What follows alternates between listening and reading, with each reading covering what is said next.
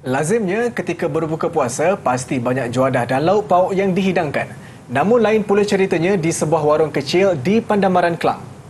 Meskipun hanya menawarkan dua menu saja, namun warung itu tetap menjadi pilihan kepada penduduk setempat untuk berbuka puasa di situ.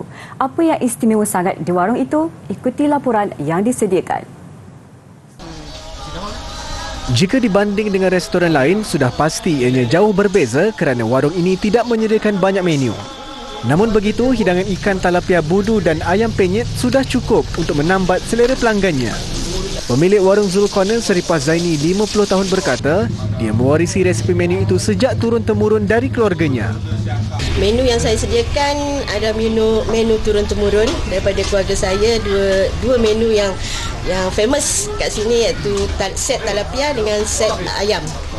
Uh, sambalnya adalah daripada keluarga saya, turun-temurun daripada keluarga saya. Menurut Seripah, dia dan suaminya memilih untuk menawarkan dua menu sahaja kerana lebih mudah dan cepat untuk menyediakan pesanan pelanggan.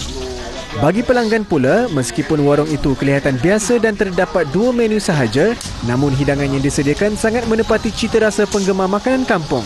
Alhamdulillah mendapati cita rasa saya lah. Uh, Ikan talapia saya order tadi tu Dia punya ikan tu besar. So portion dia just nice lah. Ikan tu macam boleh share lah. Uh, Lagi apa saya order tadi? Ayam penyet. Ayam penyet pun okay not bad.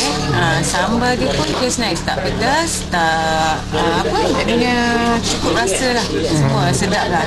Rasa keunikan dia Base uh, daripada makanan tu lah. Ikan talapia tu dia serve sekali dengan budu.